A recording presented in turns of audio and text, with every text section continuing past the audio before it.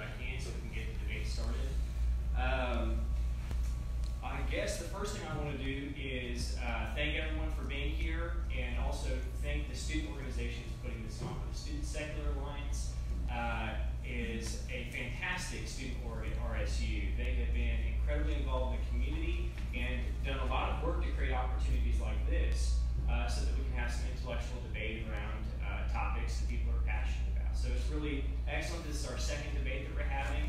And so uh, I want to provide just a quick introduction to Jen Simmer, our uh, SSA president, and she can introduce our speakers. And then shortly after that, we'll uh, go through the format and expectations and get started. Hi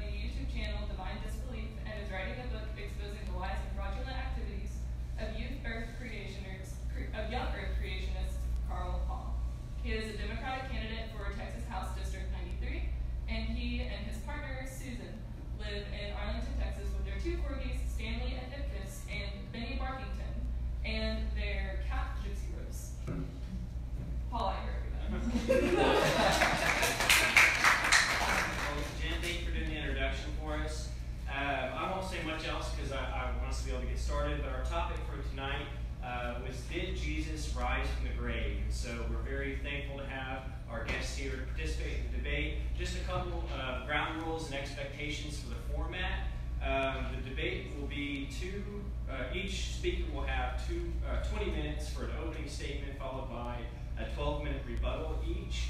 Uh, then we'll move into, uh, uh, each will get an eight minute and then a five minute uh, conclusion. So uh, I think that puts us at about an hour and 15 or hour and 20 minutes. So if you have to get up and use the restroom, anything like that, of course, come go as you need.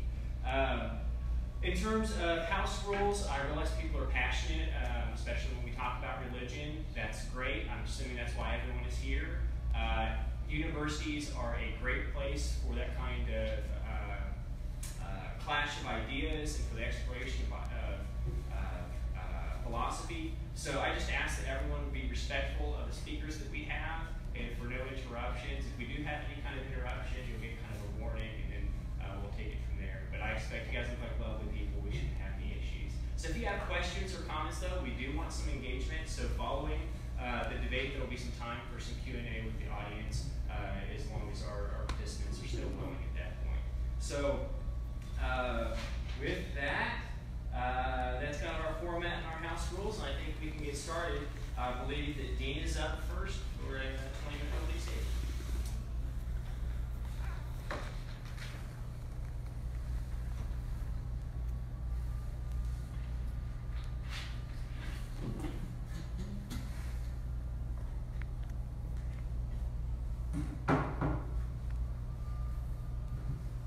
check. Y'all hear me okay? Alright. You let me know when to when to go. Uh, go for it. I'd like to thank Rogers State University and the Secular Student Alliance for this amazing opportunity to be here tonight to defend the bodily resurrection of Jesus Christ from the dead. I'd also like to give a special thanks to Jennifer Stemmer, who has been wonderful to dialogue with in preparation for this event. I'd also like to thank Nathaniel for his willingness to come out and dialogue with me on this very important topic. I believe that this very question is the most important question that any of us, any of us can answer. Did Jesus rise from the grave? Paul states in 1 Corinthians 15 that if Jesus did not rise from the grave, then Christianity is useless, it's futile, and I could not agree with him more.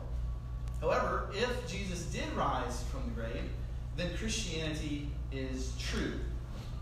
I believe there are at least two ways that one can come to know Jesus Christ as Lord and Savior. The first is the existential, the second is the historical. And so tonight, I am going to focus on the historical case for the resurre- resurrection. Now, one preliminary note before we get started with my uh, facts, and it has to do with how we approach the Bible in this evening's debate. Now, I know that Nathaniel and I have a different view on the New Testament. If we don't, it'll be a short debate. Uh, and so I also know that there are those in the audience this evening who don't view Scripture the same way that I view Scripture. But I believe that the case for the resurrection is so strong that in tonight's debate, I am not going to appeal to the Bible uh, in the following ways. I will not appeal to divine inspiration of the Bible. I will not appeal to fulfill prophecy in the Bible. And I will not uh, appeal to inerrancy uh, of Scripture. Nor will I appeal to personal experiences that I've had with my own walk, uh, in my own walk with Jesus Christ. I am simply looking at the New Testament as a collection of ancient documents and seeking to discern the historical facts contained within them, and then looking to see what's the best explanation of the facts. Just as historians look at Roman sources to talk about Rome, just as uh, historians look at Union and Confederate sources to investigate the Civil War, I'm appealing to the earliest Christian sources to see what we can gather about the resurrection. Therefore, I will appeal to the Gospels this evening as Greco Roman biographies, because if the Gospels can be placed in a specific genre, they most closely resemble this one. Like Greco Roman biographies, the Gospels are written in continuous narrative form. The stories, the anecdotes, and speeches are combined to form the narrative. The life of the main character is not always covered in chronological order. Attention is focused solely on the main character rather than on the era, events, or the government that's in place. Furthermore, the, the life of the philosopher or teacher uh, is usually arranged topically in order to display the ideas and the teachings of the main character. Furthermore, the main character is illuminated through his words and deeds as a model for the reader to either emulate or avoid. Also, I will only appeal to New Testament documents which are categorized as the accepted or recognized letters of Paul.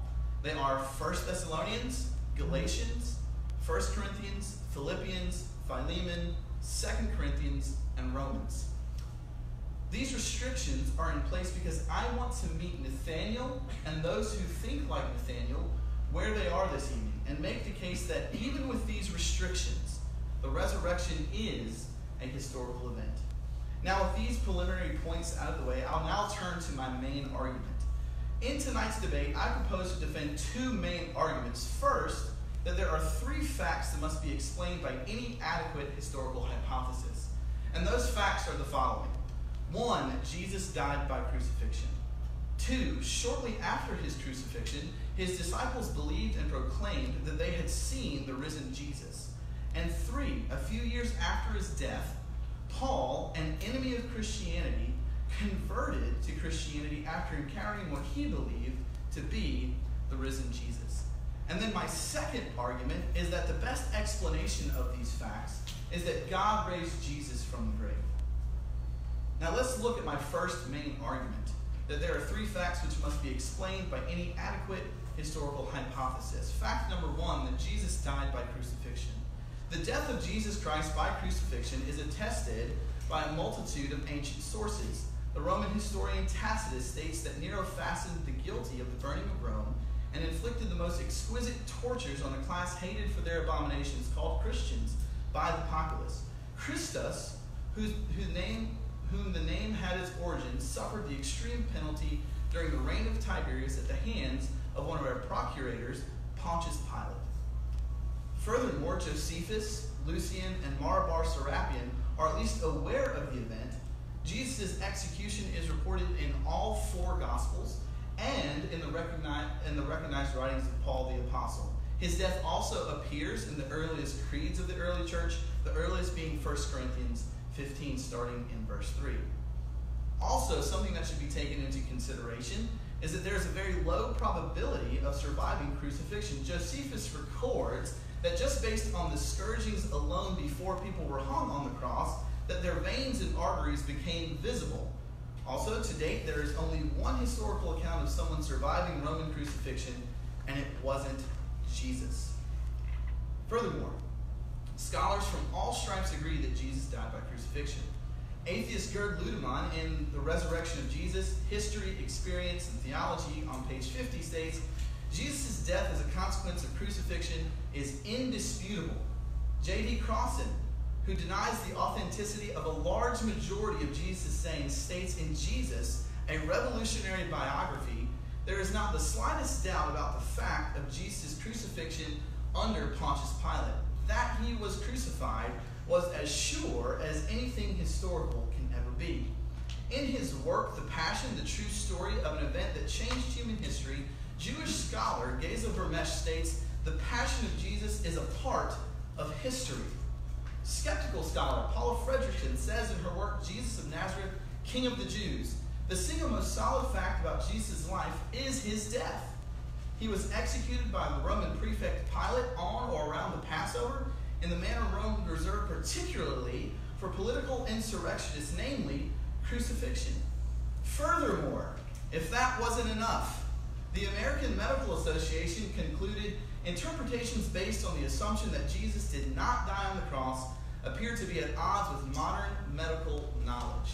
So, as we've surveyed the death of Jesus, the evidence shows that Jesus died by crucifixion and that his death is reported by Romans, Jews, is found in the earliest oral creeds of the church and the earliest documents of the church as well.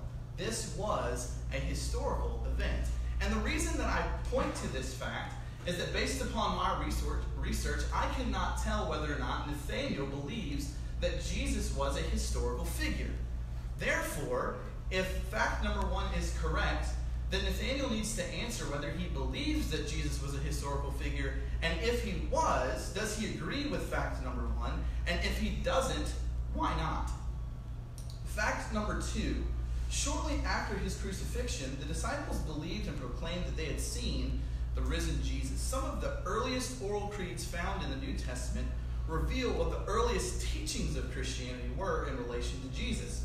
One such oral creed is Romans chapter 1, verses 3 and 4, which states concerning his son, who is descendant of David according to the flesh, and he was declared to be the Son of God in power according to the Spirit of holiness by his resurrection from the dead, Jesus Christ our Lord.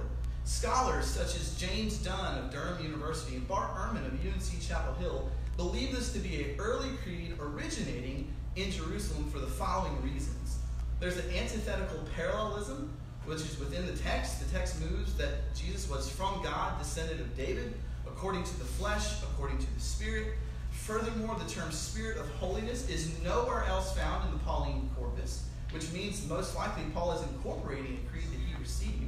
Also, the term Spirit of holiness reflects a pattern of Aramaic and Hebrew phraseology more so than Greek phraseology, and Ehrman concludes that this most likely goes back to the earliest creeds handed down in Aramaic. As he says, the language of Jesus and his earliest disciples. Another oral creed that is, is seen in 1 Corinthians chapter 15, verse 3 through 7, which Paul writes, For I delivered to you as of first importance what I also received, that Christ died for our sins in accordance with the Scripture, that he was buried, that he was raised on the third day in accordance with Scriptures, then that he appeared to Cephas, then to the twelve, then he appeared to more than 500 brothers at one time, most of whom are still alive, though some have fallen asleep. Then he appeared to James, then all the apostles. Now, how do we know that this is a creedal statement? Notice in the passage that Paul's use of delivered and received indicate that Paul is handing down something that he got from someone else. As with Romans chapter 1, uh, Romans chapter 1, verse 3 and 4, there are non Pauline traits that accompany this section. The term for our sins is absent elsewhere in Paul's writings, with the lone exception of Galatians chapter 1, verse 14. Paul doesn't prefer for our sins, Paul prefers the term sin. The phrase according to the scriptures is also absent in the Pauline corpus, and that the same is true for the phrase the 12. Furthermore, and I don't have time to go through all of them, there are parallelisms, parallelisms littered throughout the text. So, given that given Paul's use of delivering and receiving terminology, along with the other factors seen in this section, we can demonstrate that this is a oral creed. Now, how do we know that this is early? Well, Jesus was crucified around AD 30. In AD 33, Paul became a Christian. In Galatians chapter 1, 18, Paul mentions that three years after his conversion, he went to Jerusalem to see Peter and James. This means that Paul visited Jerusalem in AD 36. Paul's term here for visit is historeo, which literally means to investigate. In other words, Paul up to Jerusalem to talk about the weather or Oklahoma football. This suggests that when that Paul went up to get information about the faith from the pillars of the church who were also eyewitnesses. The upshot of this is that since Paul visited in AD 36, it means that the creedal statement that he passed on was, was around prior to AD 36, within five years of Jesus' death on the cross. Another supplemental fact to point uh, number two is that the nature of the appearances support the disciples' belief that Jesus rose from the dead. The appearance accounts in the Gospels are polymodal in nature. What do I mean by that? It means that Jesus appeared at different times, at different places, with different people, and engaged in different activities. Luke records that Jesus appeared with two disciples on the road to Emmaus. John records that Jesus appeared to the twelve indoors and encountered the doubting one, Thomas. John also records that Jesus was making breakfast by the Sea of Galilee for seven disciples towards the end of his gospel. And 1 Corinthians 15 says that Jesus appeared to 500 people at the same time. Now, in accordance with fact number one, scholars from all stripes, I repeat, all stripes, agree with fact number two. Once again, Gerd Ludemann, an atheist, states in what really happened. It may be taken as historically certain that Peter and the disciples had experiences after Jesus' death in which Jesus appeared to them as the risen Christ. In his uh, work, The Foundation of New Testament uh, Christology, theologian Reginald Fuller from Cambridge states the disciples thought that they had uh, witnessed Jesus' appearance. However, they are explained is a fact which both believer and unbeliever may agree. Once again, Paul Fredriksen states, I know in their own terms they saw, uh, what they saw was the raised Jesus. That's what they say. And then all the historical evidence we have afterwards attest that to that conviction that that's what they saw. Now, I'm not saying they really did see the raised Jesus. I wasn't there. I don't know what they saw. But I do know, as a historian, they must have seen something. Now, the willingness for the earliest apostles or earliest uh, disciples to suffer and die testifies to their sincerity in that belief. It does not prove the resurrection, but it shows that they were in a position uh, to know whether or not what they saw was absolutely true or absolutely false. They are not like um, us today in our position or some other martyrs from some other religion today that get stuff secondhand. They were in a prime position to know whether or not what they saw was true. So the nexus of their willingness to suffer or die stems from the centrality of the resurrection and uh, appearance of Jesus. Thus, given the earliest sources, namely the creeds of the infant church, we see the disciples believed and proclaimed that Jesus rose from the grave. Furthermore, it's historically accurate to state that the earliest disciples were willing to suffer and die for what they believed in, thus testifying to the sincerity of their belief. Moving on, fact number three. Within a few years of Jesus' death, Paul, an enemy of the early church, was converted to Christianity after having an experience in which he believed he saw the risen Jesus.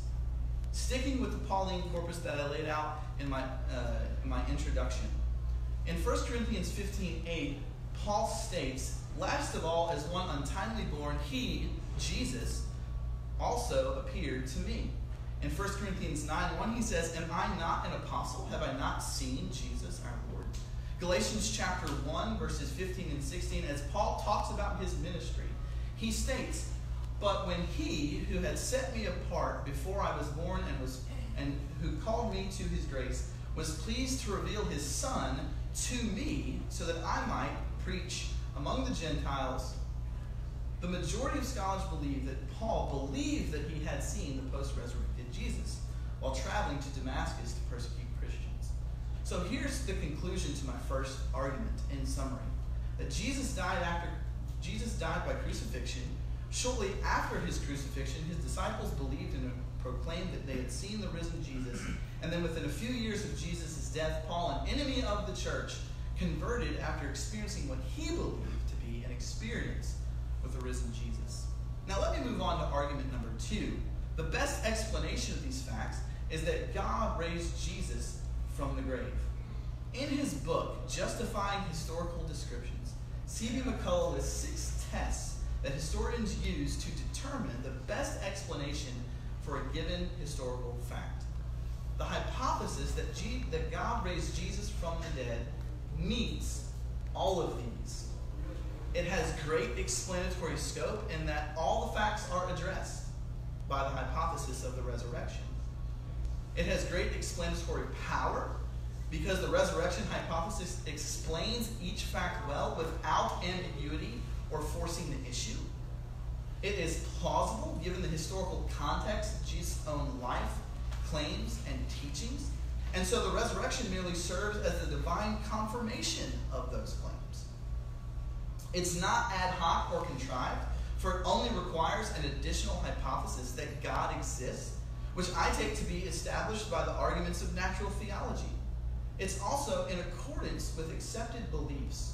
The hypothesis that Jesus rose from the dead is not in conflict with the belief that people don't rise from the dead naturally.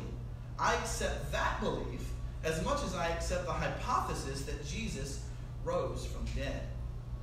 It outperforms its rival theories in meeting the first five conditions.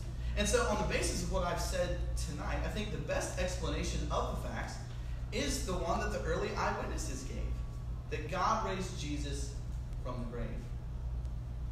If Nathaniel is to carry tonight's debate, he must first tear down the resurrection hypothesis and raise his own argument that explains the facts better than the resurrection hypothesis. He cannot simply stand up here tonight and give a glorified nah If Nathaniel fail, fails to tear down the argument and provide a better hypothesis, all here, and I say this with respect, including Nathaniel, should give serious consideration to the affirmative case for Jesus rising from the grave, and even more serious, give consideration to Christianity. Thank you.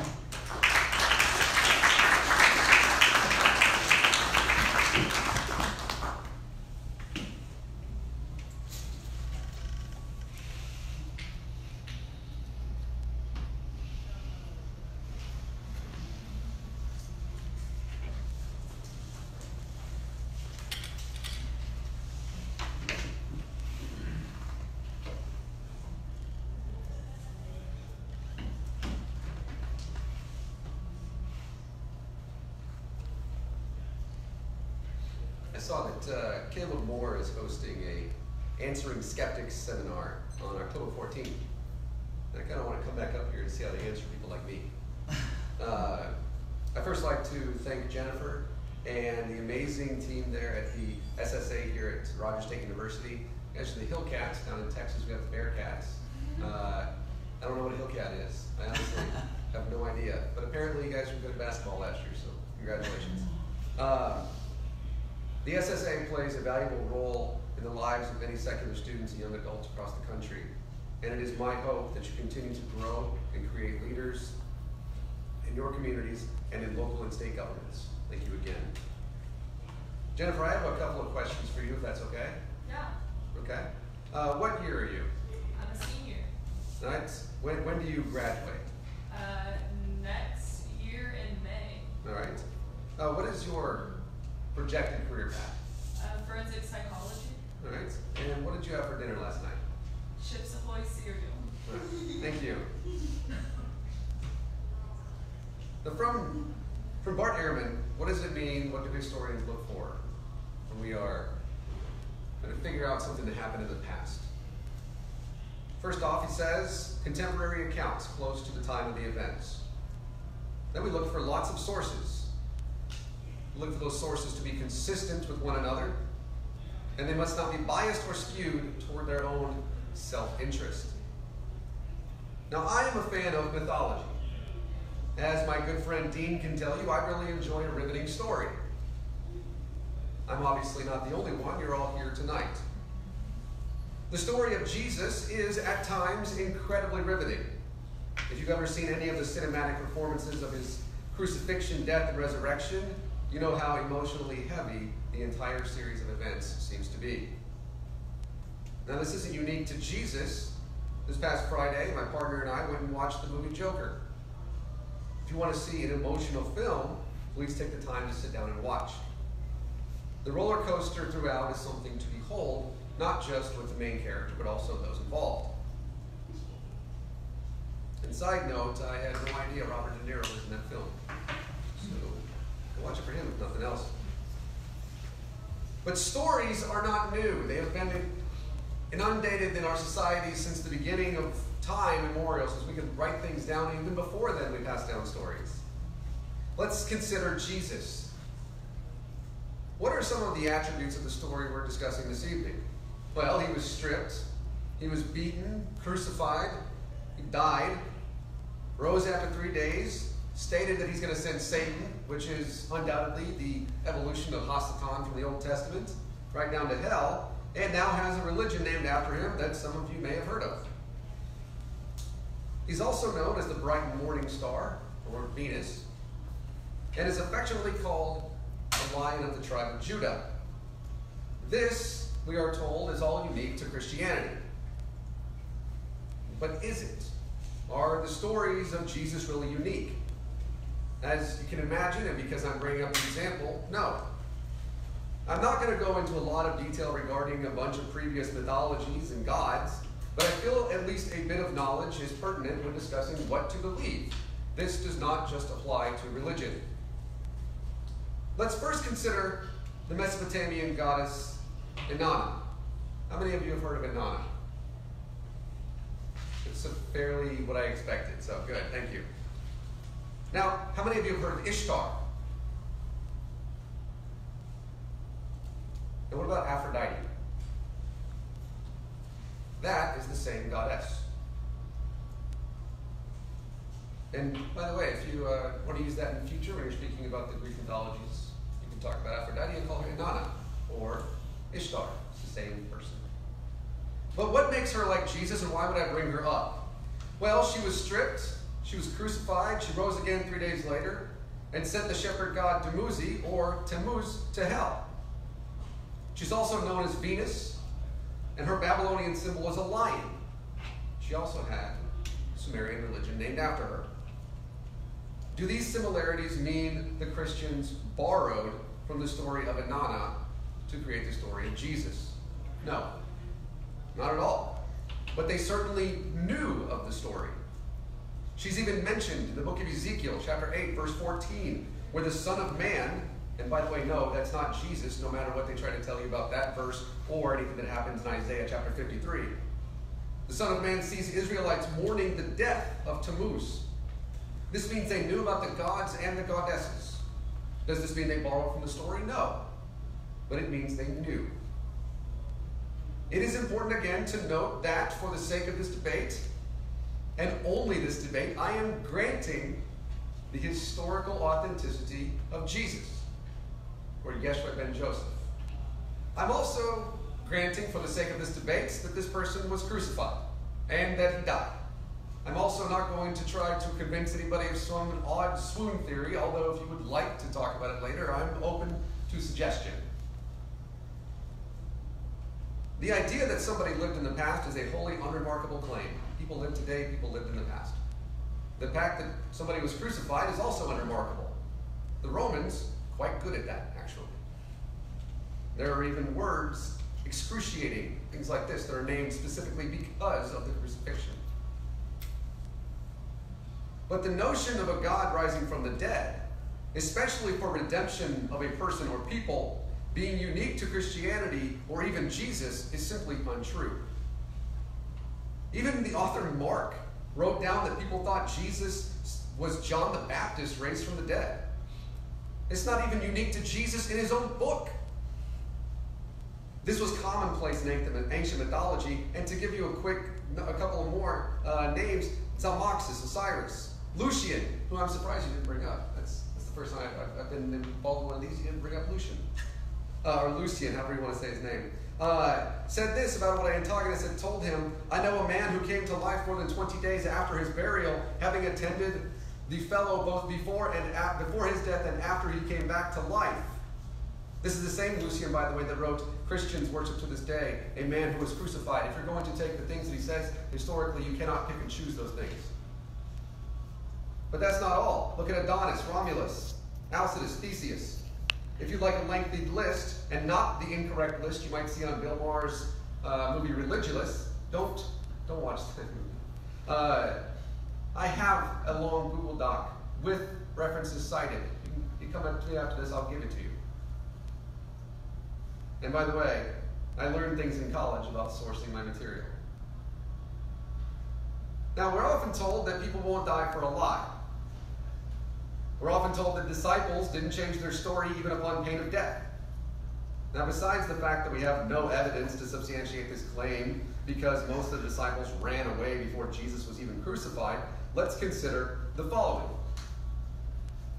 And if it's okay, I'd like to tell you a story because I like stories. Dean likes stories. Um, and actually, I, I need to make a, quick, a quick phone call if that's okay.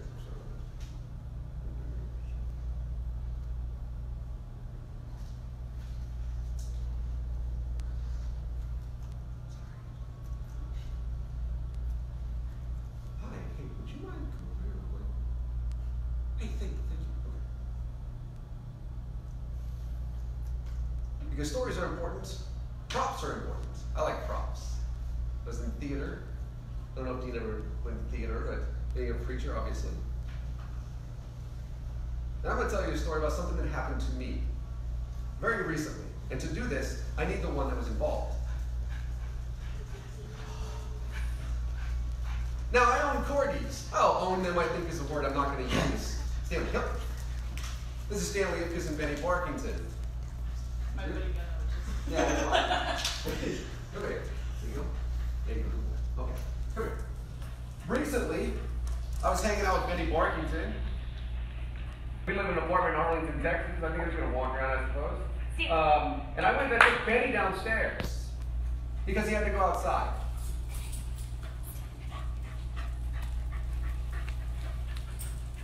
He was supposed to stay up there with me and we practiced this.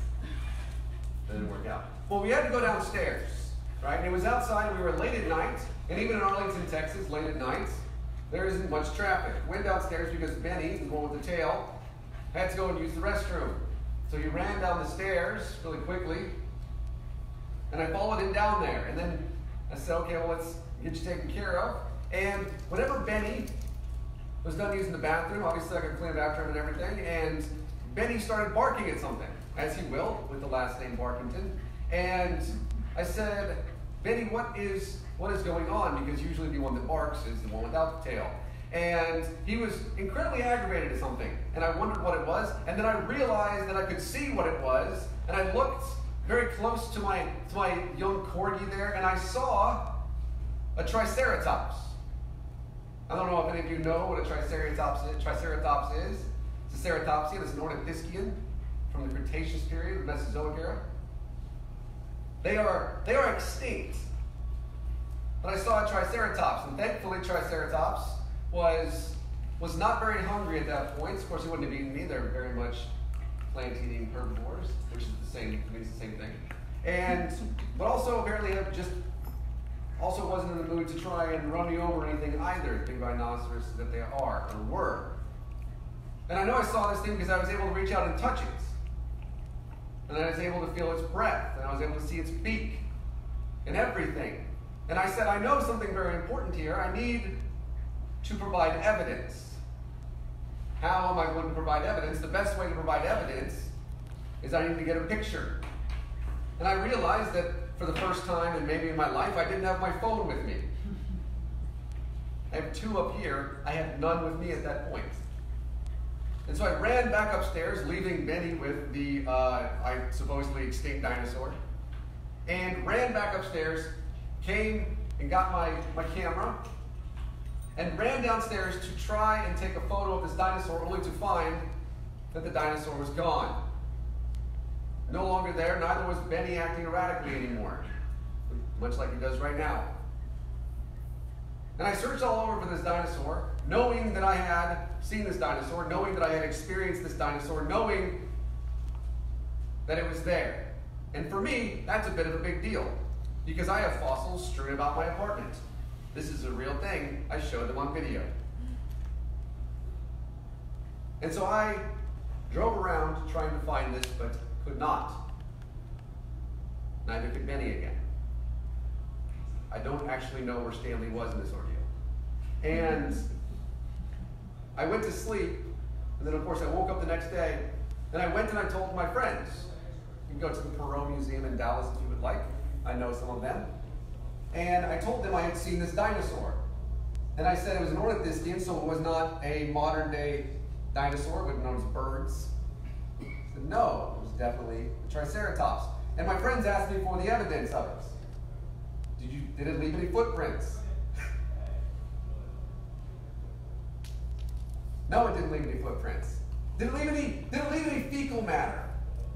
Because you would see that. If you've ever seen Jurassic Park, you know what it looks like.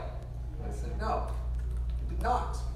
No footprints, no nothing, could see nothing of this dinosaur. But I know that I saw this dinosaur, and I believe that I saw this dinosaur. And even, and I would tell you that I saw this dinosaur unto pain of death, to quote the Princess Bride. And I would die telling you that I saw this dinosaur. I believed it.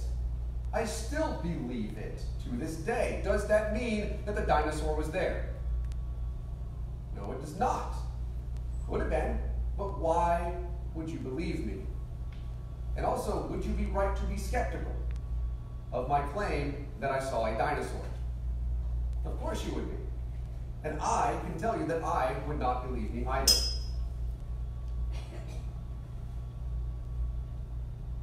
Now I need four volunteers, just four, real quick.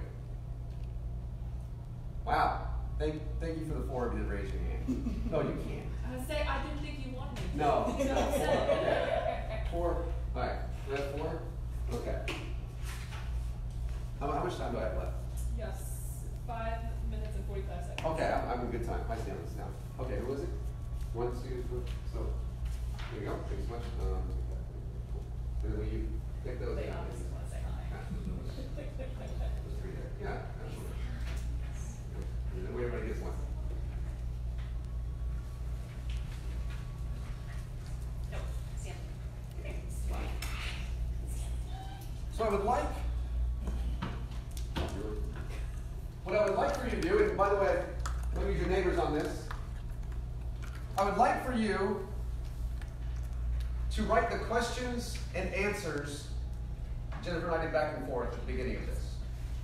Don't use your neighbors. Please. While they're doing that, I wonder if any of you can do the same. Because everybody in here is an eyewitness to our conversation just 10, 15 minutes ago. We should be able to write this down very easily. Much easier, of course, than let's say something decades later by second, third, fourth, fifth hand accounts by nobody that was an eyewitness. We're talking Matthew, Mark, Luke, and John. Or if you would like some of the 36 other Gospels, the Apocalypse of Peter, the Acts of Peter, my personal favorites, the Thomas, Who, by the way, you like Thomas as well, huh? Well, he's got some pretty funny stuff. Yes, he does. Call it funny if you would like. I think the Apocalypse of Peter is more more on the mythology side. I think you would agree. The talking, the walking, talking cross. Yes. Whenever you're done, please let me know so I can collect those. Thank you. Because I think this is really important. I think that you can hopefully you can see kind of where I'm going with this. How'd you do? Because you know this pretty well, right? Yeah, Yeah. that's a bias. There you go. There you go. Thank you so much. Thank you. Thank you. This is just like back in school. All right. I mean,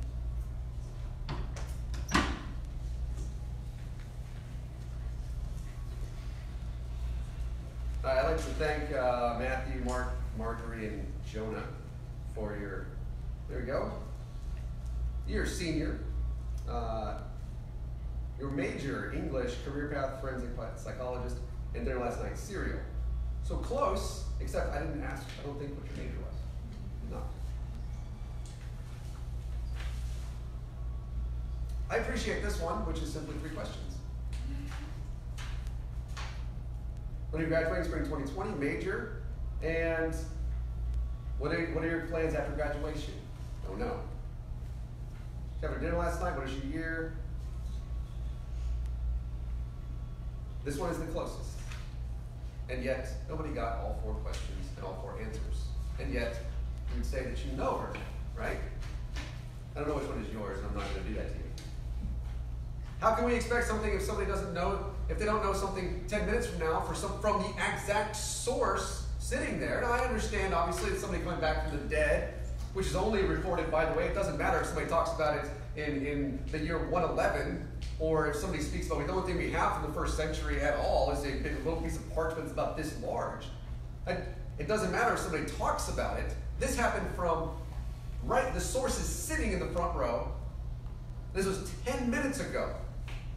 And yet, not a single person, even though they know her well, could get that right. How can you expect to see something from not just four, but any of the other 36 Gospels to get it right either? And Dean, I don't give a damn whether Jesus lived or not. We can talk about that at a different time.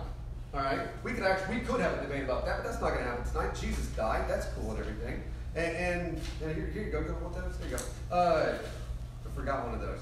And I was, I was going to respond to something else, but I'm pretty much out of time. And, I, I really appreciate being up here, Dean. This has been a good time. Thank you very much.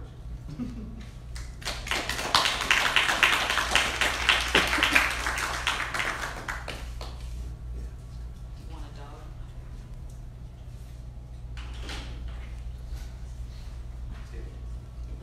Come. Ben, sit. Ben.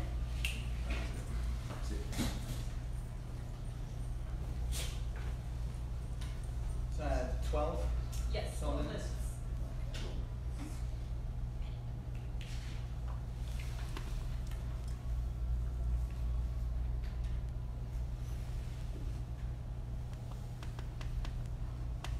Time to start when you start. In my opening speech, I claimed or said that I was going to defend two propositions tonight. One, that there was uh, an adequate, there were three facts that must be adequately understood uh, and delineated by a historical hypothesis. And two, the best explanation of those facts is that Jesus rose from the dead. Once again, those facts are that Jesus died by crucifixion. Shortly after Jesus' death, his disciples proclaimed and believed that they saw Jesus rise from the dead. And number three, that Paul, an enemy of the church, uh, uh, several years after Jesus' death, uh, had an experience in which he believed he saw the risen Jesus. Now, I think it's great that Nathaniel agrees with me on fact one. Uh, and I would welcome that conversation about Jesus being a person of history because if he died on the cross, then he's a person of history.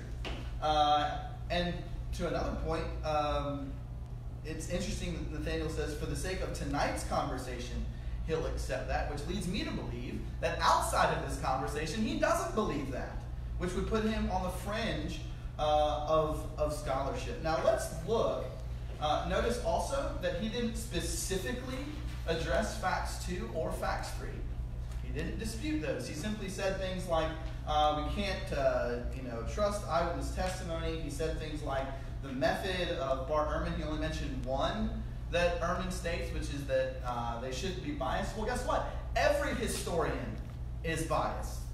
Every historian in antiquity and today is biased. Ronald Reagan gives one sentence to his divorce, where other biographers give whole paragraphs to his divorce. So uh, that's just uh, a skewed part of Ehrman's methodology. That's nothing to indict uh, the resurrection. Um, but also, we do have good eyewitness testimony. What Nathaniel didn't mention anything about the creed in 1 Corinthians 15, and to disprove that that was an early oral creed passed down to Paul and given to other people. He didn't mention anything about Romans chapter 1, uh, that creed being an early oral creed. He simply bypassed it uh, and didn't mention. I would like for him to address that. How does he know that those aren't early eyewitness testimonies? And what information does he have to go against the case I laid out for them? He did address that in his opening uh, position. And I don't think that he can address it in his rebuttal. Um, he mentioned uh, the Joker in passing. Okay, everybody uh, who has ever uh, done a film about the Joker, done a, done a comic about the Joker, has admitted that the Joker is fictitious. Jesus is a person of history. It's, it's not analogous at all. Um, also, he says, um, you know, that they that Israel and, and the New Testament uh, characters knew about these gods. Well, okay, just because uh, they know them doesn't mean that they necessarily copied from them. Knowing something doesn't mean that you've copied from something. And what's interesting is Nathaniel actually agrees with me about the Old Testament when Nathaniel said about these ancient Near East dying and rising gods is confirmed in the Old Testament that yes, the, Israel, uh, the Israel, Israelites did know about these dying and rising gods, and they're mentioned in there, which seems to me, uh, this is a, maybe a completely different debate, I think it is, but I'm glad that Nathaniel affirms uh, pieces of the Old Testament being historically accurate. I think that's a great point that he makes there. And so I'm glad that he agrees with me on that. He says we don't have any evidence of disciples, early disciples, dying. Uh, the vast majority of historians, specifically New Testament historians, would say that Peter died in Rome. The vast majority of New Testament scholars and historians would say that Paul died uh, as well. Uh, so those are at least two pieces uh, of evidence there um, for early disciples or apostles dying for what they believe. I simply said that their death indicates the sincerity of the belief. Sincerity of the belief doesn't prove the belief. I appreciate, uh, with all due respect, the dog uh, and pony show. That was uh, very, very well done, very creative. Um, also, one thing that we should understand with the demonstration that was taking place here with the uh, three or four people here is that the culture of today is different than the culture of then. The culture then was a strictly oral culture. By the age of 12, Jewish boys could memorize the Torah. That is not the case today. So you can't take the culture of today and bind it on the culture of yesteryear. Um, so there's there's that point. Um, also, um, a group of eyewitnesses could complete a uniform list even if a single individual cannot. Even if a single individual cannot, a group can. This is how cops put people away for murder. They separate the eyewitnesses and they say, hey, what did you see? What did you see? What did you see? And just because person one over here gets everything but one thing wrong, and people over here get everything but three things wrong, what do the cops do? They say, hey, he got this piece right, this person got that piece right, this person got that piece right. It seems like the person who committed the murder committed the murder. That's just good uh, police work. And what we have in the New Testament is exactly that. We have, um, you know, good police work being done by the authors. Notice again, he didn't address anything about the nature of the appearances uh, in the Gospels. He didn't mention anything about the 500. He didn't mention anything about the about Jesus and the seven of the Sea of Galilee. He didn't mention anything about Thomas. Once again, he simply bypassed that and said, "Hey, you just can't uh, trust eyewitness reports." Uh, but once again, a group of eyewitnesses can complete a uniform list, um, with a single eyewitness, uh, even if a single eyewitness couldn't. Also, um, I, I think he's trying to use what took place over here as an analogy for the eyewitnesses in the Gospels. But there's a problem with that, is that here, with this piece, uh, this illustration over here, that was strictly auditory. What do you remember audibly? Whereas the disciples would have remembered the death of somebody. People are more prone to remember the death of a loved one rather than just hearing about the death of a loved one or somebody and the details um, with regards to that. Now let's move to the rising and, dying gods in general. Um, uh, T.D. Uh, Mettinger uh, states the following. Uh, there is now what amounts to a scholarly consensus against the appropriateness of the concept of dying and rising gods in the ancient Near East world. Those who still think differently, and this is them being compared to the story of Jesus, those who think uh, who those who still think differently are looked upon as a residual member of an almost extinct species. The result of my investigation led me to challenge this um, uh, scholarly consensus and to disagree with a number of colleagues whom I greatly esteem. And so he gives the reasons why he does that. The world of ancient Near East religions actually knew a number of deities. I agree with that. Uh, the gods, uh, the gods that die and rise. Notice this: have close ties. Just about every god that he mentioned has close ties to the seasonal cycle of plant life. They are closely connected to the seasons Jesus explicitly is not connected to agriculture. It's a false analogy. And to rely upon that is what Mettinger says puts somebody in the class of an extinct, almost extinct species. Also, um, the reason that the dying and rising gods analogy would not work is that by the time of the first century, um, there are certain changes that took place within the Jewish culture, and Christianity has Jewish roots, which means what? One, as we stated already, they are a oral they are an oral culture. But two, the biggest difference between the Jews during the time of the Old Testament and the Jews of the first century is that in the Old Testament, I would agree with Nathaniel, uh, maybe to this point, that the Jews had a, a propensity to accept foreign gods and adapt foreign gods. Whereas in the New Testament, what are they doing? They are in rebellion against Rome because they don't want to adopt their gods. They don't want to adopt their gods. And so that is significant when we talk about this comparison between dying and rising gods. Let me give you an example of just uh, uh, how out of whack this tends to get. Let's go with the example that he raised with Osiris. Um, there are a lot of, this is a popular one that states Osiris was some type of Christ figure that died and was raised from uh, the grave. Now, what we know about Osiris is that, um, is that there's no evidence that Osiris had some type of Eucharist uh, ceremony in which his flesh was eaten uh, in the form of communi- uh, communion cakes. Uh, there's the claim that Osiris taught many of the same things as Jesus. There's no evidence of that uh, either. Osiris uh, is the brother of Seth. Seth kills, uh, convinces Osiris to get into a coffin. He gets into the coffin. Uh, Seth sends the coffin. He drowns Osiris. Uh, Isis uh, comes back, or excuse me, um, excuse me. He uh, he cuts Osiris into 14 pieces, sends him on his way, and scatters him throughout the earth. Isis, as she's grieved, goes and finds him, resuscitates him, and he, resu- he takes the role of the, the God of the underworld sounds nothing like what we see in the gospel narrative. Sounds nothing uh, like what Paul talks about in the accepted Pauline uh, letters. It sounds nothing like what we see in the oral creeds. This is just a atheist meme that runs around on the internet. Uh, has no ties, no connections uh, to Jesus. Um, what else?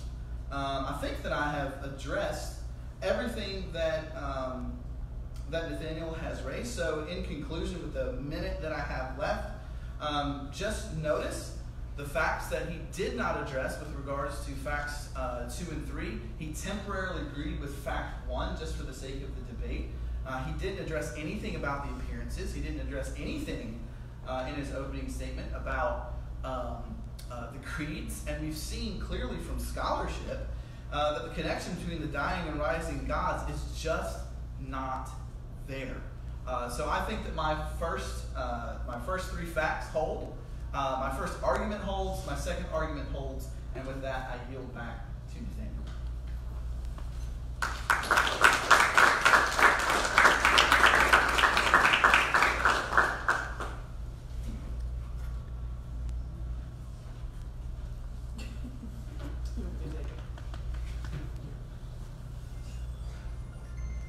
Sorry. Hey, Dean, uh, I'm not gonna respond to your opening statement and my opening statement. Cool? I hope, I hope that's okay in future debates when we do this again. Um, but I'd like to, I'd like to respond now, because it'd be difficult for me to write twenty minutes of opening statement responding to your twenty-minute opening statement while I'm sitting over there. Um, so the best explanation for what you call facts are that God did it. Can I get my pen real quick? Yeah, it's yours? Cool, I was wondering why I was up here, I'm trying to give off one line. It's a great catch. All right, did, did the apostles suffer and die? Well, we have what's known as tradition. What is tradition? Except something that is passed down from person to person to person, oral traditions.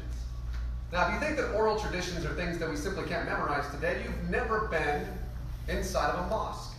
Susan and I had the opportunity to go to a mosque after the horrific terrorist attack in New Zealand. And what we found out?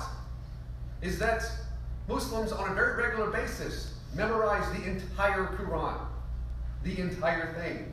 And they are not shy about telling it to you in Arabic. Now, with that being said, they could have been saying anything to me, but I'm going to believe that they were speaking knowing and knowing what the Quran says. So to say that people wouldn't be able to remember something from somebody that they know 10 minutes ago, and yes, I agree with you, it's not, some sort of you know psychological trauma or something like that, but to remember these things from somebody that I know or somebody that I've gotten to know, if Susan were to tell me things or to mention things, I would remember them 10 minutes later. But to say that they died, well, we have the Bible. Now, what is the Bible? Gesundheit. What is the Bible? It's a wonderful religious book full of claims. And I, have attempted to have the conversation with Dean before that the Bible, much like the Quran and much like every other book, even those of the Zoroastrians, is simply a book of claims. We must look outside of the Bible, which is why I don't respond to biblical claims. The Bible says that Jesus saw, appeared to 500 people. Well, Paul said that. I'm going to do a Ken Ham. Was Paul there? No, Paul heard it from somebody else through a creed. That came from somebody else, that came from somebody else, and nobody has any idea where the creed actually started. He was simply writing down things that he had heard before.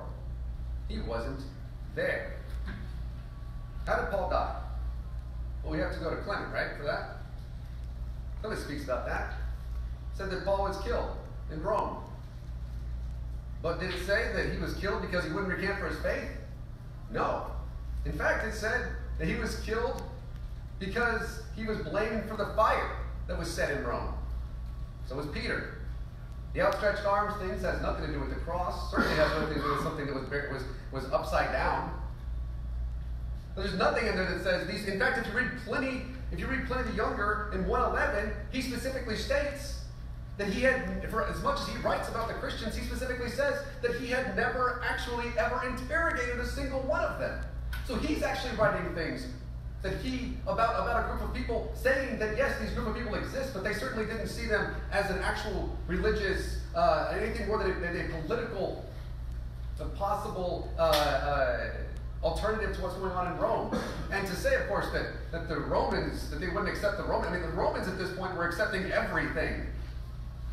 Look at Zoroastrians. The Zoroastrians, by the way, are the best example of, and, I, and by the way, whenever I brought these things up, I, I didn't say that, that they copied them. I, and in fact, I even specifically stated, Dean, I thought that you would have heard that while I was saying it, that it doesn't mean they copied them. It simply means that the dying and rising gods were something that they would have heard of before. That is what I said very specifically. And, but, but they had heard the Zoroastrians, the pagan religion from the Sumerians, they had heard about this. They were in Rome. The book of Mark may have very well been written in Rome around this same time. Let's not even consider how many other religions were there. The religion of Attis. If you've never heard about that, Attis and Cybele. If you've never looked that up, you wonder why they're following around a bunch of eunuchs. Because somebody is so beautiful that you castrate yourself. Literally, a religion was going around Rome at the exact same time that Christianity was attempting to make itself known. So this is not even close to something that's unique. But again, where do we get the idea that Jesus rose from the grave? Where is it mentioned at all anywhere else outside of the Bible? The correct answer is nowhere. Where's the 500 mentioned? Nowhere. Paul, and we've had this discussion more than once, and you're always wrong about it. Uh, Paul never saw a physical resurrected Jesus, and he made that very clear all throughout his writings. He had visions. I've gone through this more than once, and I've spoken about it in detail. And yes, I'll take Richard Carrier's stance on this. That Paul was a schizotypal who saw visions. I mean, he did see visions. What do we call that today if you see a vision? Do we think that you're a prophet of God? No. We say you see visions and you hallucinate. Especially when you consider in the book of Galatians where he says he went up to the third level of heaven. Does the third level of heaven even exist? It depends which religion you follow. And also, as again, as Bart Ehrman says, how does all this, when we look at all of this, I can't take the gospel seriously anyway, because when I want to ask a question about what day did Jesus die, what time did he die, who all went to the tomb, was the tomb even there, was it Joseph of Arimathea, which we don't even know that person even existed at all? It depends which gospel you read. And if I can't take the gospel seriously, why am I going to take the idea that the gospel, of the Bible should be some sort of perfect document that I can get history from? It's not a history book. In any way, it's a history book. There's the genealogies of Jesus by themselves are completely out of whack. The creed, again, you know who else has a creed? The Mormons. They have a wonderful creed. Spoken to. And you know what? And, and a lot of people that were even in Joseph Smith's life, his part of his family, left the church. You know what they never did? They never recanted. Not even one time. Does that, does that mean that, that Mormonism is the one true faith? It's a good question to ask. I know plenty of Mormons.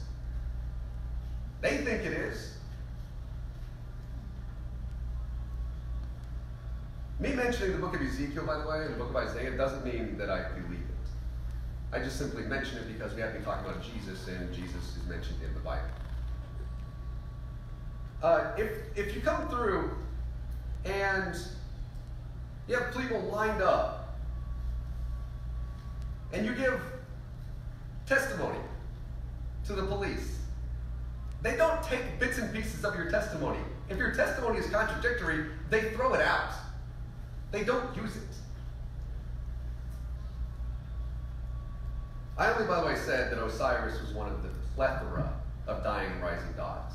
I, again, and, and I'm going to ask you to not like to not make it seem as though I'm saying things I'm not. Osiris was one of, again, many, many, many, many dying and rising gods. He has many stories about how he died and rose again. We can talk about Romulus, who would like, and how 72, the number com- comes up in not just Christianity, but also the story of Romulus. How many people condemned Romulus to death? And then we can look at Islam as well. How many, how many virgins do you supposedly get? These numbers are, are, are it's, it, they're in so many different religions. But again, Jesus died on a cross. Unremarkable. Jesus was maybe buried somewhere. Unremarkable. Rising from the dead. If a body disappeared today, I'm not saying this happened, but we had this conversation in April. If a body disappeared today, you would not say, oh my gosh, it's Jesus. You wouldn't say it automatically rose from the dead. If a body disappeared today and it was somebody that you loved, Dean, you would go and say, who took the body? Where's the body at? You wouldn't automatically say, this body rose from the grave. And again, this is not something I'm saying happened, but people don't just automatically say, again, when there's zero, zero, period, ever examples of anybody ever rising from the dead, even though there are a plethora of mythologies saying this is the case, you don't actually say somebody rose from the dead. In fact, if you look in the book of Matthew, only Matthew is the only one that ever says, without anybody even there, that a bunch of, of, uh, of, of, Jewish Sanhedrin got together and said, psst, psst, psst, let's tell them somebody stole the body. Nobody was even around for that conversation. It's like Jesus talking to himself when he's on the freaking mountain. Who records these things? It's like Moses writing his own death in Deuteronomy. It's nonsense. Yeah, I think that's a good way to end that. Thank you.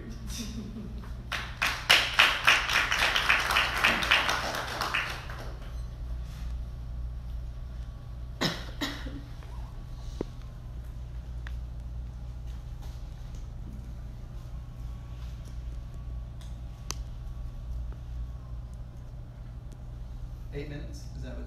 Yeah, Okay. eight minutes.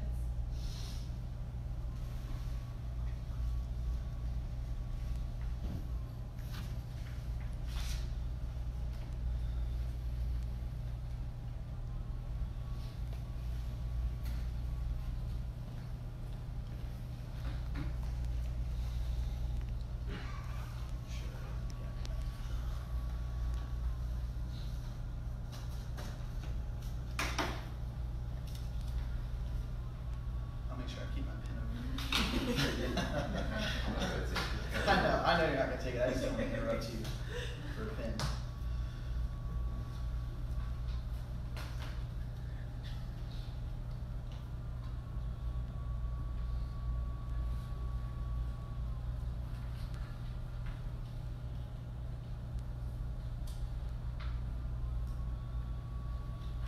Sorry, I'm just trying to make sure I have these in order.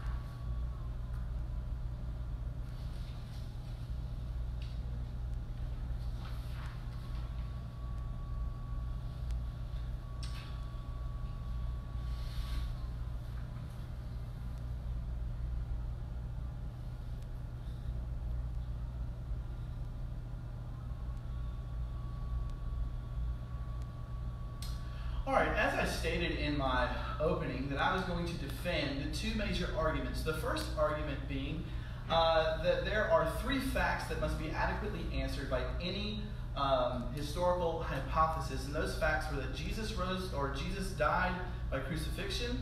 Shortly after that, the disciples had experiences in which they saw Jesus, and then Paul, an enemy of the church, converted to Christianity after having an experience in which he believed he saw the risen Jesus. Now, um, if you notice what Nathaniel did here um, is is quite quite interesting. Preliminary issues before I really go, uh, I'd like to say hard in the paint. Um, number one, I didn't mention Pliny the Younger in my opening statement. I mentioned uh, Tacitus. Um, also, I agree with Nathaniel uh, that the Jews in the Old Testament uh, had heard of these gods. That's all, all I said. Um, also, when it comes to the uh, dying and rising gods, I just used Osiris as an example for the whole and then cited scholarly work on the connection between the dying and rising gods and why they don't work. Uh, Nathaniel just simply doubled down on what he said in his opening statement with regards to the dying and rising gods. Um, also, it should also be noted Nathaniel mentioned the empty tomb. Uh, while I find uh, that to be uh, you know an interesting topic for another time, that was not a part of my first three facts. So what's going on at this at this point is Nathaniel is mentioning things uh, to support his argument that I didn't even bring into the argument. I didn't bring into the argument Pliny the Younger. I didn't bring into the argument uh, the empty tomb. And I agreed with him about the Jews knowing of these Old Testament gods. Now he does attack Paul. Uh, fact number three, and said uh, that Paul said that he didn't uh, see a, a physical uh, body. Now, what's interesting here is that there are two lines of attack that Nathaniel uses. He says that you know he didn't appear, or Paul didn't believe that uh, he saw a, a real body. So let's just look at this for a second. Jakob Kremer translated the verb appear, translates the verb appear uh, as appeared or let himself be seen, and says we cannot deny a visual element, a visual element to the verb, since throughout the prophets and the New Testament it clearly has the function, and he concludes that this verb signifies, just as it did in the Old Testament, the powerful characteristics of uh, powerful uh, the power characteristics of Yahweh and the angels to appear visibly, and he ascribes that same property to the resurrected Jesus that Paul uses in 1 Corinthians 15. So Paul says he appeared in a physical form to me, uh, which I find interesting that that um, that Nathaniel uh, would would raise uh, that idea. Furthermore, the illustration used by Paul in 1 Corinthians 15 is that of a seed that is sown and then reborn. And he mentions in 1 Corinthians 15, he's answering the question what about the physical body of Christians? What's going to happen with the physical body of Christians? And he says, just as the seed is sown and dies and is reborn, the body is sown as a physical body and will also be raised. That same physical body will be raised and transformed. Uh, Romans 8 11, I would describe you there that he mentions the physical body.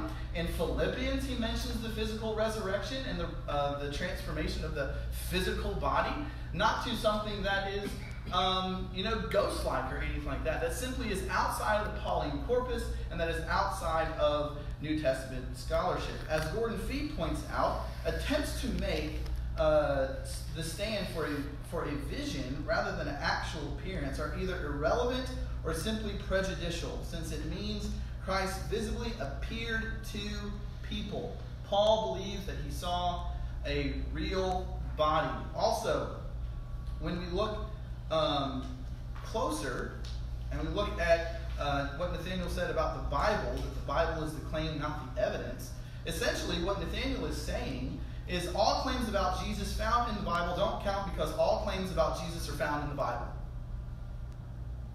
That's circular reasoning. And, uh, and so, how does that follow logically? Think about this for a second. If someone, uh, if someone is murdered and a note is left which makes a claim about the motive, the makeup of the murder, or clues about when and where the next murder will happen, will the detective say the following? Well, boys, you know, we can't use this note because the claims about the murderer are contained in the letter about the murderer. No, that will not happen. This seems preposterous. History is done by assessing claims of sources who make claims about important people and events. Notice in my opening statement that I said just as Romans will use Roman sources to figure out things about Rome, or historians will, and just as historians will use sources about from the Union and the Confederacy to figure out what happened in the Civil War, why is it we can't do the same thing with the New Testament? That's the question that Nathaniel needs to answer, and his answer can't be, well, because it's in the Bible. That's just a prejudice towards the Bible. That's all that is. Um, what else? So we see here also, um, you know, as far as um, you know, the creed, the oral creed. He just said that the creed was passed down from one person to another person to another person to another person. He never addressed the specificity of my claim. The specificity of my claim is that that creed is within five years of the death of Jesus. That creed is not uh, 70 years after the death of Jesus. If Paul visited Rome or Jerusalem in AD 36, and he got the creed in AD 36, that means the creed was around before, you guessed it, AD 36. So the creed is early uh, as well. And so, one other point that, um, that needs to be made here that I'll move towards, once again, about the physical body uh, that Nathaniel mentioned just came to my attention.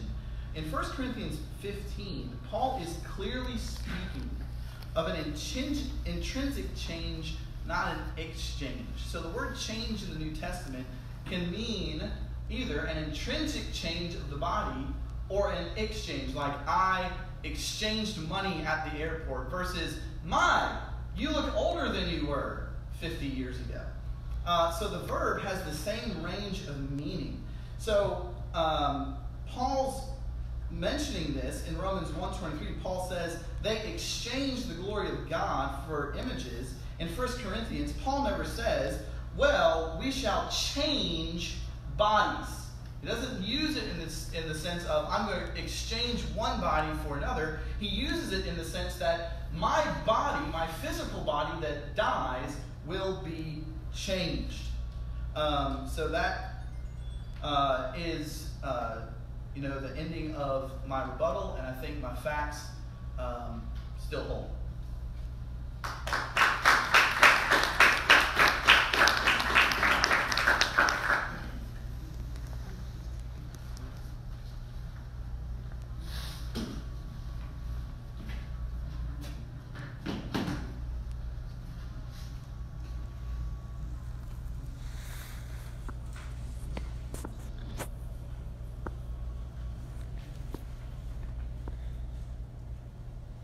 You want me to seriously examine the uh, claims of the Bible?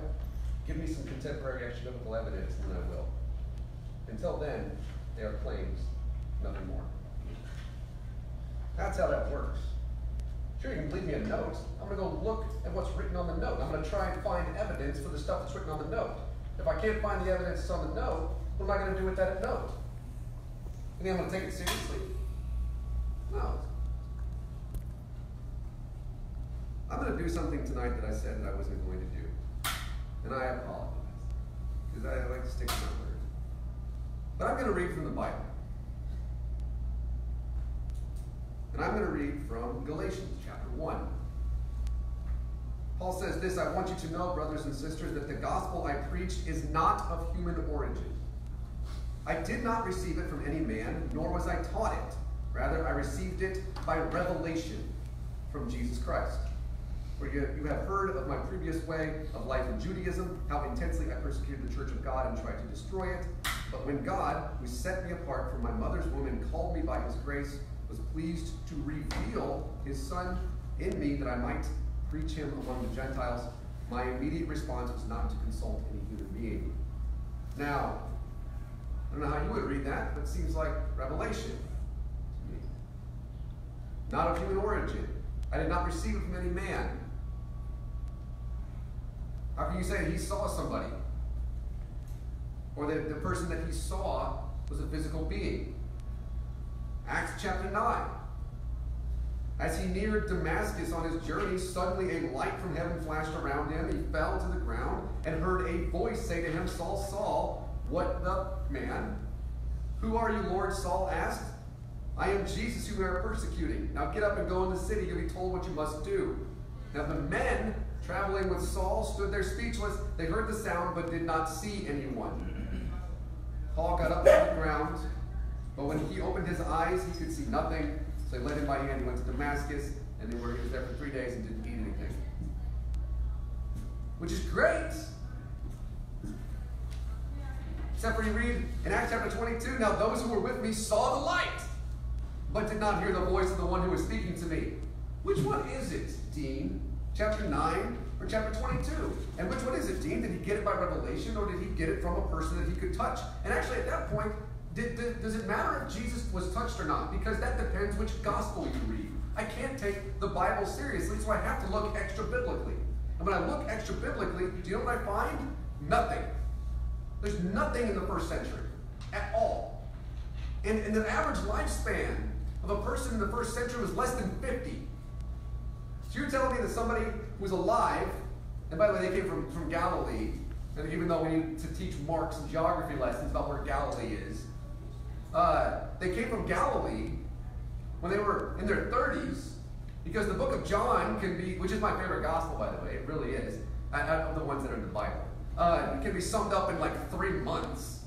It really can. The things that Jesus said in there could be in less than three months. It wasn't necessarily in three years. But you tell me that 33 years old, they would have lived another 20 years. Yeah, they may have they may have passed something around saying we saw these things. But at the point the Gospels were, were written some 40 and 60 and 80 years later, how many people was it passed on to? We've already read the Gospels. We know that they don't that they contain contradictory accounts by themselves. But if, if, if, that comes to the case, that it depends which one that I read, then should I really take it seriously? Should I at all? Especially if somebody like Paul is saying some of you follow John the Baptist, some of you follow Jesus, some of you follow me. And this is, this is within, what, 20 years after the supposed death and resurrection of Jesus. That's already happening. You're seeing a fracturing in the church at that point. We already know that How many books? I mean, First and Second Peter. Are you serious? Those were, and, and how many books that even claim to be written by Paul in the New Testament weren't even written by him? But you want me to take the writings in there seriously and to look at there's there's nothing, zero people in the first century out of one piece of parchment.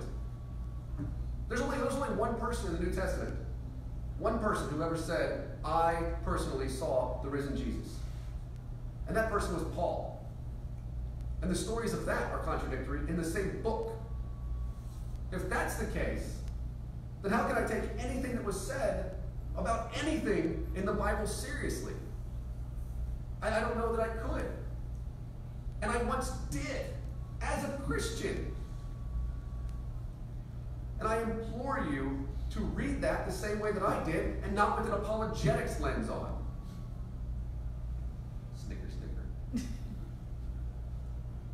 Because it is important that we do that. I want to, to do things that my, my friend, and I'm happy to say that Susan is a better friend of Matt Dillahunty's than I am, and it's very jealous, but I'm a better friend of Aron Ra than you, so we'll take that. Uh, uh, Matt Dillahunty says, I want to believe as many true things as possible. I want to. Convince me that this stuff is real. And I'll believe it. It doesn't mean that I'll be a Christian, but I'll certainly believe the Bible. But you've got to provide something more than anecdotes and something that somebody said that I apparently am, am an extinct creature, much like the Triceratops that I promised I saw. Thank you.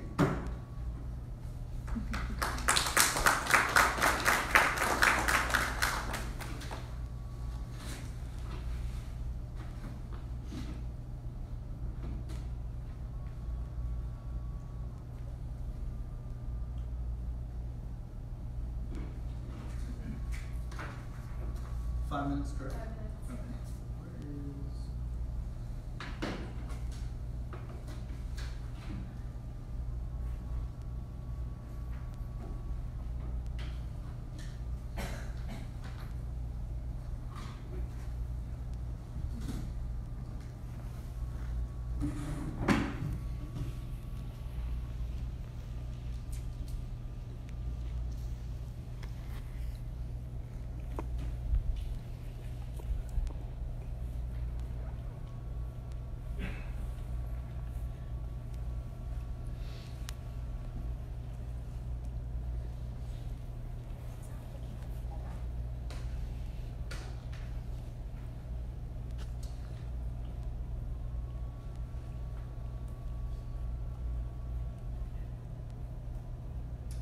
In tonight's debate, I defended two main arguments that there are three facts that must be answered by an adequate historical hypothesis.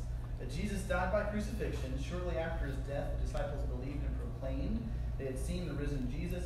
And then within a few years after his death, uh, Paul, an enemy of the church, was converted to Christianity after having an experience which he believed the resurrection uh, resurrection uh, of Jesus. Uh, then two, that God raised Jesus from the dead, is the best explanation uh, of these facts. Now, a couple of preliminary things before I get to my closing. Uh, Nathaniel mentioned that Paul might have been schizotypal in his rebuttal, except there's a problem there because the Harvard Medical Journal notes that schizotypals are people who have extreme anxiety, they're people who are non-social, have trouble maintaining and creating relationships. And as we look in the accepted letters of Paul, that does not seem to be the case for Paul. So that is simply a, a ad hoc response uh, to fact number three.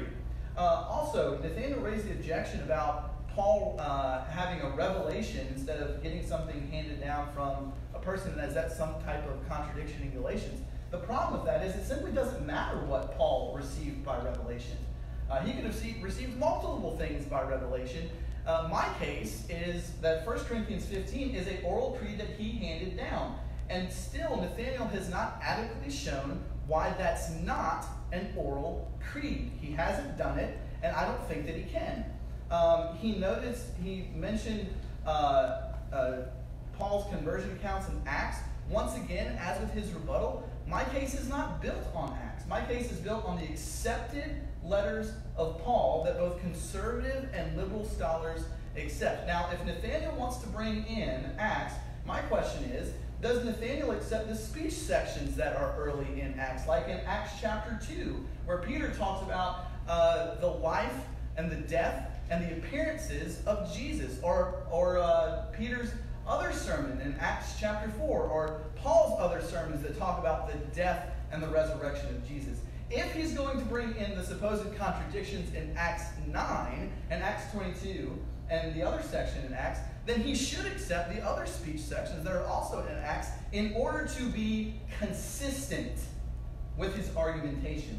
Now, to the point that he raised about Acts, what we see in Acts chapter 9 is that hearing here is used in the genitive case, which denotes that a sound was heard. The difference between that and Acts chapter 22 is that hearing takes the accusative case, which uh, indicates, in Greek, indicates that a sound was heard but not completely understood.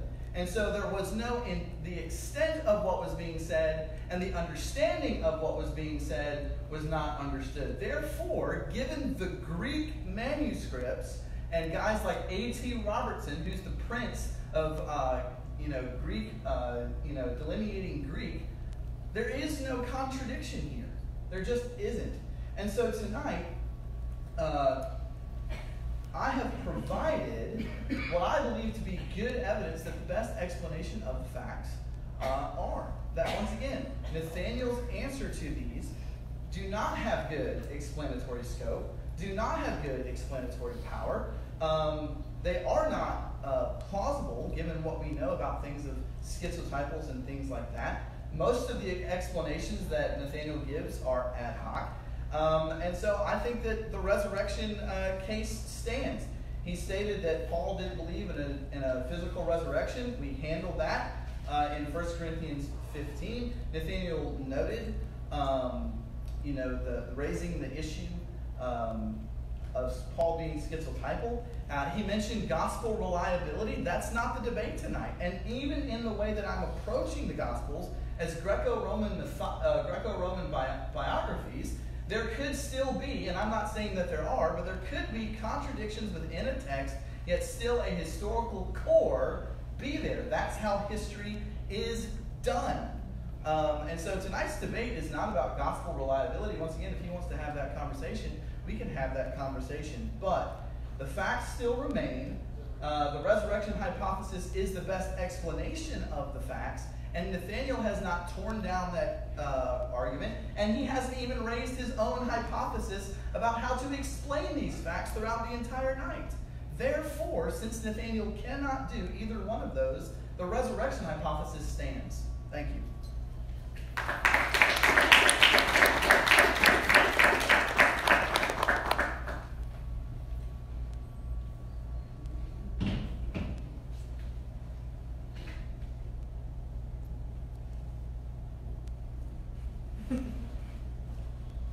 Name it.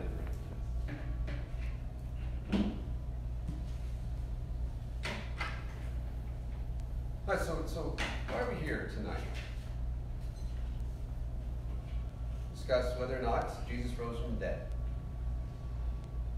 Uh, come up here and he presented the exact same thing that I thought he was going to present, because for the last 2,000 years, although a little bit of a little bit of hedging has been done, they haven't brought up anything new. Because there's nothing new to bring up. Because there's the Bible. And by the way, I bring up the book of Acts, it doesn't mean I believe that nonsense. I mean, it's the contradictions in there. Which, by the way, Daniel B. Wallace, the, the famous Greek scholar, completely disagrees with you regarding the supposed contradictory language in the book of Acts. So if you're going to bring up just like uh, arguments from authority, there's one for you. Um, you know, I, I don't believe that nonsense handling snakes and all that? No, it, it, that's what that's in your book, not mine. Uh, we, we talk about he, he, what is the most what, what is the most plausible scenario? It's that Jesus was crucified and tossed into a mass grave. That's it. That is the most plausible. We talk about probability. Right? I, I do science. This is what we talk about. We talk about probabilities. How many people in history of our world have risen from the dead? Zero. I appreciate the answer. Zero. So we talk about probability. Let's consider it. Jesus was crucified and died on a cross, which again, you're t- I don't address your two points because that was what I was conceding for the sake of this debate. And yes, I would love to debate the gospel sometime. Uh, that's, I'm actually, I actually know the gospel's better than the resurrection of Jesus. That would be great. We should do that. Set it up. At Texas State University in San Marcos. Set it up. Um, that, that has happened. Uh, the, the what would, would Romans do? They would do they would they would crucify people every single day, and they would do it in Jerusalem every single day. And it wasn't just done on some hill named Golgotha; it was everywhere. They did it all the time. Pontius Pilate, even though even even the, the weekly that he was considering, everybody that was around him, especially those in Syria, would still do it all the time. You know what they would do? They would toss people in mass graves. That's the most plausible scenario. Now, if I'm following somebody around for supposedly three or four years, and I'm saying that they're supposedly doing miracles, even though I forgot the two the, the loaves and the fish more than once because I was surprised he was able to do it again. Okay. Uh, if I'm doing that for the past three years, I don't want people to think that what I what I have seen with the person that I'm following, even though if I could look in the Essenes and look at what the Maccabees are saying about what we expected this God to be was to be somebody that brought us out of the, the, the persecution of the Romans. Maybe I don't and, and the only people that are mentioned, by the way, yeah, we went over this last time. The only people that are mentioned are, are, are what, uh, uh, Cephas, right? And, and James, the supposed brother of Jesus, who, by the way, if you are the brother of a God, you believe he is a God. That is the way that goes. And in fact, they might not have actually been James, the brother of Jesus, that we're talking about. We can get into a million things there. But the most plausible explanation when somebody is crucified is that they die. Are there stories that are made up of, of, a plethora of dying and rising gods? Yes. Does it mean that any of them are true? And why don't you accept any of those? Because there is just as much evidence that Osiris, that Zalmoxis, that Romulus, that, that oh my gosh, I could go in and on. So how many different gods supposedly died and rose from the grave, even three days later? And you accept none of those, even though they have the exact same amount of evidence of Jesus rising from the dead. And yes, Paul very specifically said that he got it from Revelation. Does Revelation mean something different to you than it does to me? I don't, I don't think so. But I think the only thing you could possibly take from this entire debate, at any point that you ever read these things critically, which again I do recommend, is that sure, Jesus could have lived. Jesus could have been what's seen as a political adversary to the Romans, and even to the Jews and the Sanhedrin, but certainly not the Pharisees, and that he would, that this could have happened. And that then a person would have been crucified. Yes. But to say somebody rose from the dead, I don't know how you could actually jump to that conclusion regardless of what Dean said tonight. Thank you.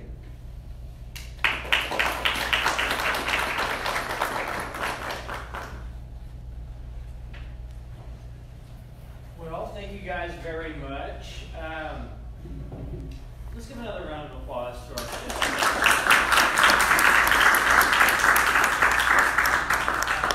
Very impressed. Thank you guys very much. Uh, we have scheduled just a brief amount of time for questions uh, because I imagine everyone who's been here uh, would like a, a break and all that. But if you all might stick around for a little too, I'm sure there could be some more Um, conversation. I don't, if I can speak for Nathaniel, I'm sorry. We'll, we'll stay as long as y'all want to stay. If that's okay with you. I can sleep on the way. Sorry. What we'll do for our audience members then is we'll take time for just a couple questions, and I apologize for keeping that portion brief, but um, uh, just for the sake of time for everyone. So, are there any audience questions or comments or points of discussion that you'd like to address with our speakers?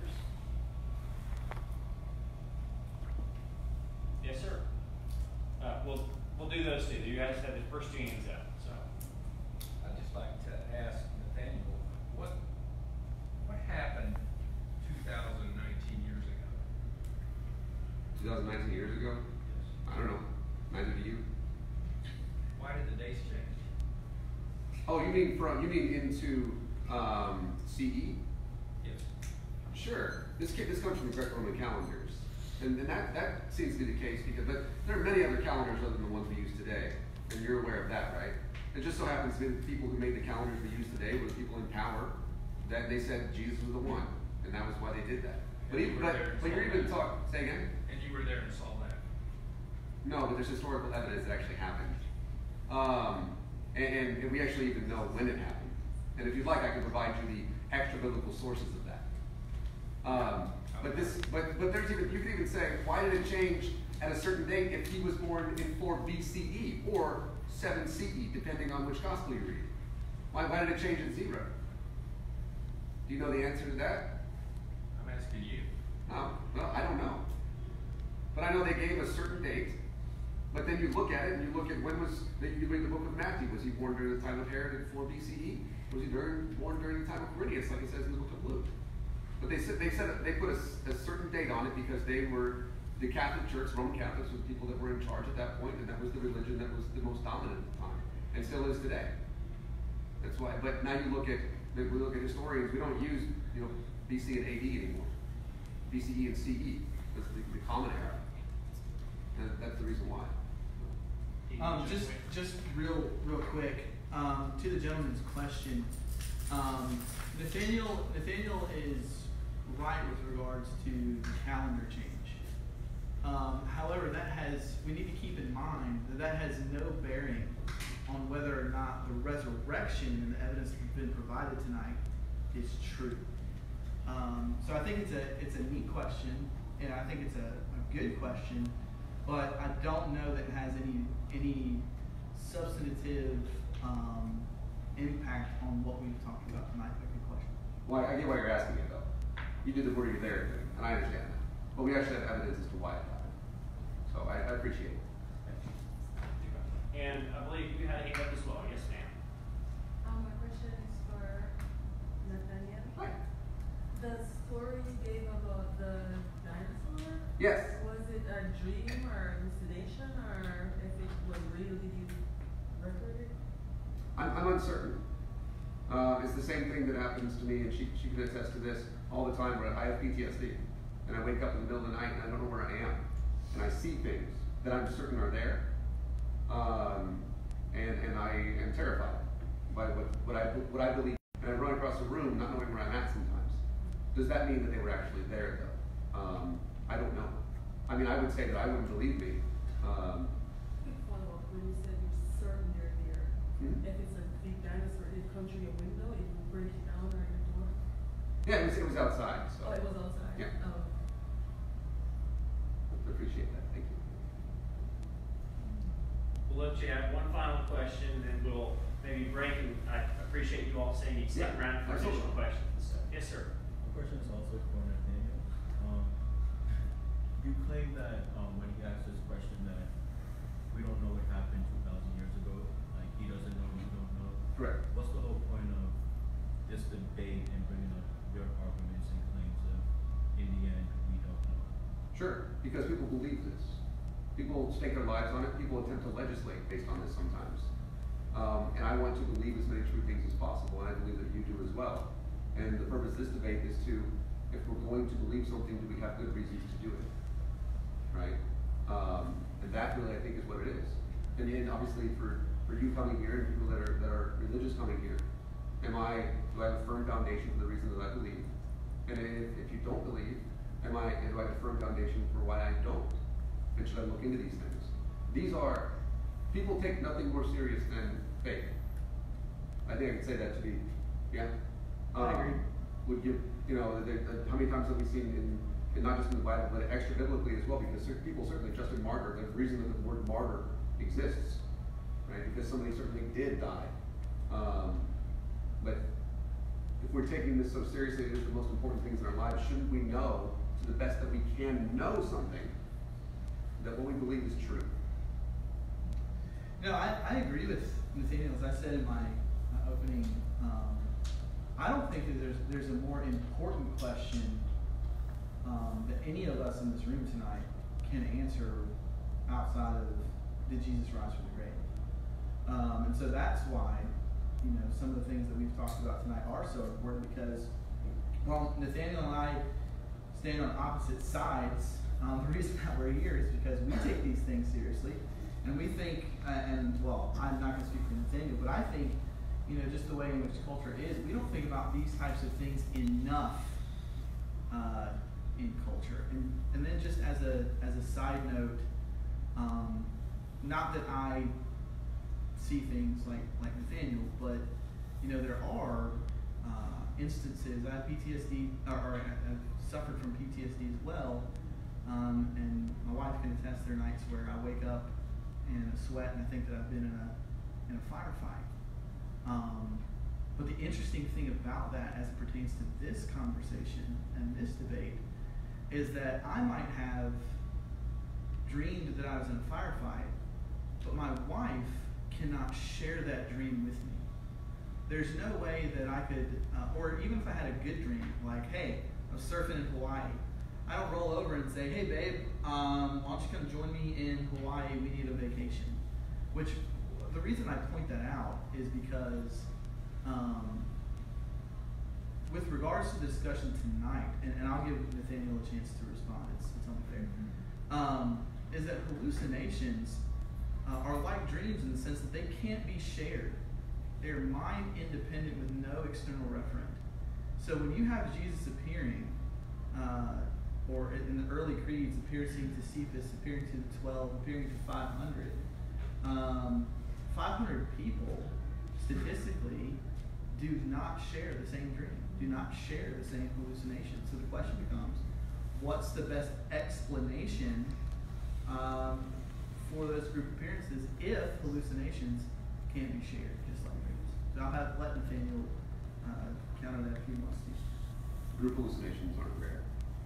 It it happens. Cargo cults is a great example.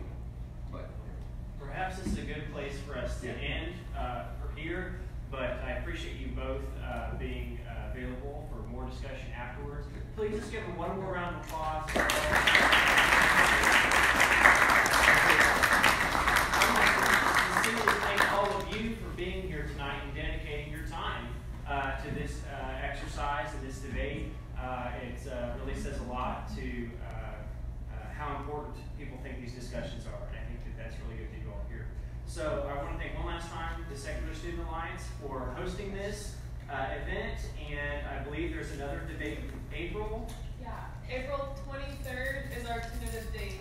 So, and we're trying to get Seth Andrews and um, yeah, and um, the same people who supplied a speaker for us for our last debate. Oklahoma. They're coming back to help us. Yeah, with with this. Get William Lane Craig.